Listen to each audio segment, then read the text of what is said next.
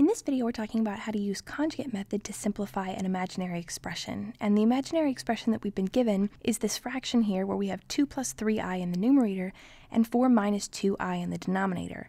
Now, the important thing to know here is that i is not just a normal variable. It's what we call the imaginary number. And remember that the imaginary number is i equals the square root of negative 1.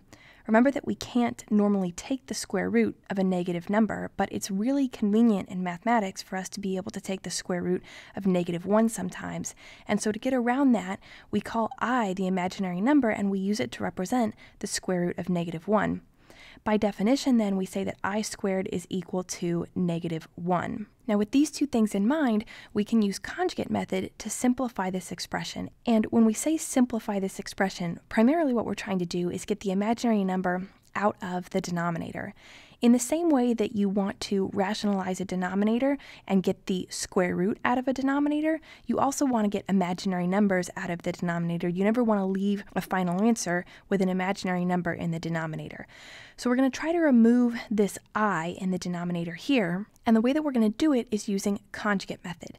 Now when we talk about the conjugate of something, we're talking about a binomial. A binomial is two terms separated by an addition or subtraction sign. So for example, 4 minus 2i is a binomial because we have two terms, 4 and 2i, and they're separated by a subtraction sign. So the conjugate of this binomial is those same two terms. We keep the 4 and we keep the 2i, but we just flip the sign in the middle. So if we have a subtraction sign, we want to change it to an addition sign. If we have an addition sign, we want to change it to a subtraction sign. So if we want to use the conjugate of this 4 minus 2i, the conjugate is going to be 4 plus 2i instead of 4 minus 2i. So what we want to do is we want to multiply both the numerator and the denominator of this fraction by the conjugate of the denominator. So the conjugate of the denominator is 4 plus 2i, which means we multiply both the numerator and the denominator by 4 plus 2i. So now when we're multiplying fractions, remember that we multiply the numerators together to get the new numerator. So we'll go ahead and say 2 plus 3i times 4 plus 2i. And then we multiply the denominators together to get the new denominator. So we'll say 4 minus 2i times 4 plus 2i, like this. And when we do the multiplication here, what we're doing is we're FOILing out these binomial terms. So remember, FOIL means first, outer, inner, last. That's what it stands for. So when we multiply this out, we multiply the first terms together. So 2 and 4, 2 times 4 is 8. Then the outer terms, 2 times 2i gives us 4i. Then the inner terms, 3i and 4, gives us 12i when we multiply them together. And then the last term, so 3i times 2i gives us a 6 i squared. Now we'll need to do the same thing in the denominator. We'll FOIL out those binomials when we multiply them together. So 4 times 4 gives us 16.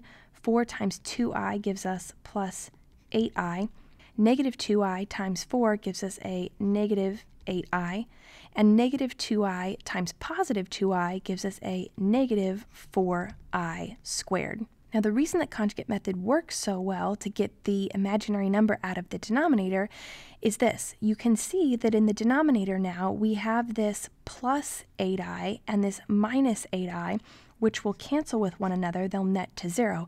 And that's always going to be the case when you multiply the denominator by its conjugate. You're going to get those two terms in the center, and they're going to cancel with one another. So now we can just combine like terms. What we're left with in the numerator here is 8 and then plus 4i plus 12i is a plus 16i, and then plus 6i squared. In the denominator, we'll be left with 16 minus 4i squared. And at this point, we need to remember that i squared is equal to negative 1. So we'll be able to make a substitution for i squared of negative 1. We want to leave these i to the first power terms alone. So when we make a substitution here, we'll say 8 plus 16i, we leave that i alone. But for i squared, wherever we have i squared, we'll substitute a negative 1. So instead of plus 6i squared, we're going to say plus 6 times negative 1.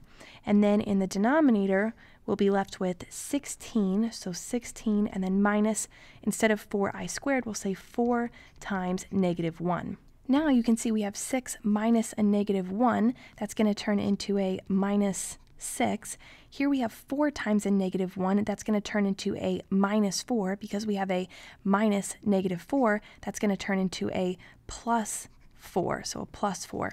Now when we simplify here, we have 8 minus 6 or 2, so 2 plus 16i. And then in the denominator, we have 16 plus 4 or 20. So we have our fraction simplified. We just need to reduce it to its lowest terms because all three terms in the fraction, the 2, the 16i, and the 20, they're all even. They're all divisible by 2. So we need to divide through each term by 2. So 2 divided by 2 gives us 1. 16i divided by 2 gives us 8i, so plus 8i. And then in the denominator, 20 divided by 2 gives us 10. This then, 1 plus 8i all divided by 10, is the simplified version of the fraction that we started with originally. And we've simplified it because we've managed to remove the imaginary numbers from the denominator. This expression, though, keep in mind that this expression is exactly the same as the original expression. We haven't changed its value at all. We've just simplified it in the same way that we would say the fraction 2 fourths is exactly the same as the fraction 1 half. We've just reduced it, we've just written it in a different form, but they're equivalent, they're equal. And the reason is because that when we multiply by the conjugate here, this value, when we multiply by the conjugate divided by the conjugate, of course, these values in the numerator and denominator are the same, so this whole fraction right here reduces to a value of 1. So multiplying by the conjugate over the conjugate is the same thing as multiplying by 1, which of course never changes the value of whatever you multiply 1 by. So when we go through this process, we don't change the value of the original fraction at all. Conjugate method is just a simple way to simplify your original fraction.